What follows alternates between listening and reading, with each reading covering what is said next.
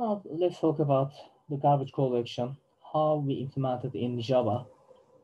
And actually, the garbage collection is an old term uh, coming from the old object-oriented and other uh, structured programming languages. Why we are using that? Because actually we require the same resources that we previously used for the other codes or other applications. With the garbage collection, when the execution of our code been done, we try to assign the uh, used uh, computer resources such as uh, memory to the other applications. To be able to do that, we need to collect the garbage.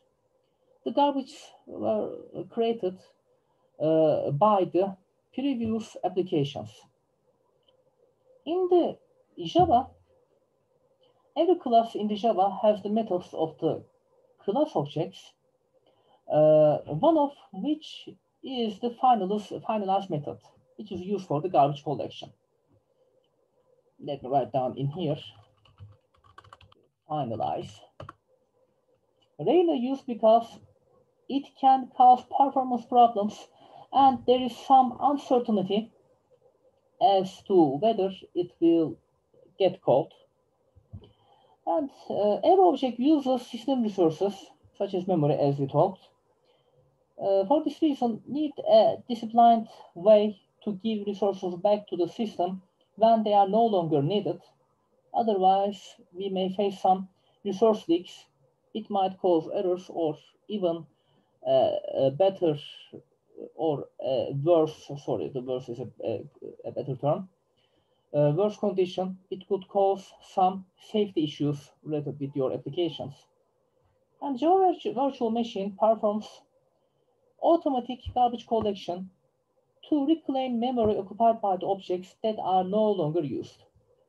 When they are no longer referenced to an object, the object is eligible to be collected.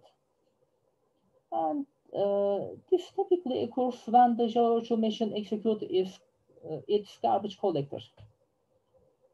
So memory leaks that are common in other languages like C, C++, uh, because memory is not automatically claimed by the language are less likely in Java, but some can still happen in uh, other ways.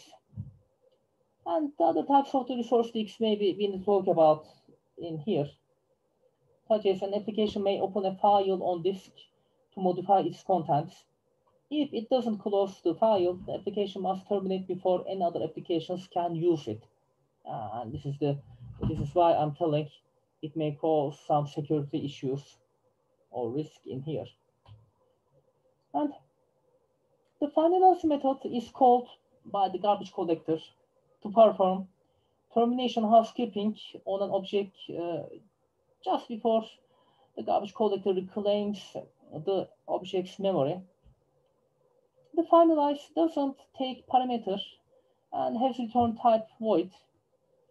And the problem with the finalize is the garbage collector is not guaranteed as we mentioned before. And the garbage collector may never uh, be executed before a program terminates it.